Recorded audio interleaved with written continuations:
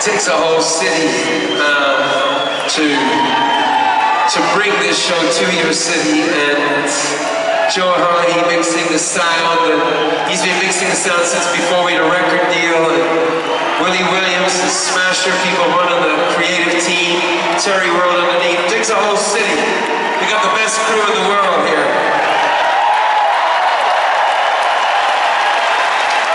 Well the same is true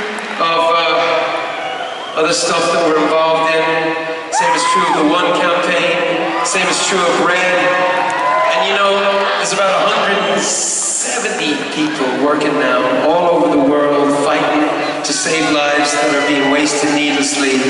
And those people uh, are our heroes and the people who run that show, all of them from all over the world, from Paris, from London, from Brussels, from Africa, from New York, from DC, they're here. Here tonight. And see the show for the first time. These people are our heroes, and I've learned so much from them. From Bobby Shriver's here, Jamie Drummond's here, Mike Elliott's here, Deb Douglas here, and the boss of bosses, Tom Freston, is here tonight. He bosses us all around in a very elegant fashion.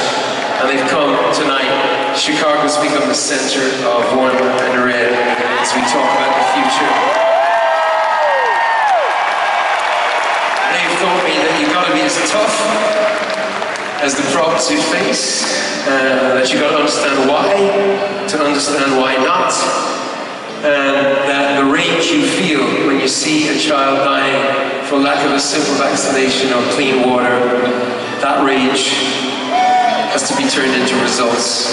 These are the people, that's why they're heroes of ours. Thank you for their patience. Thanks to everybody who's supported the, the Red Zones and Salesforce, Apple, Bank of America, all the companies that are buying those pills. So thanks, thank you so much.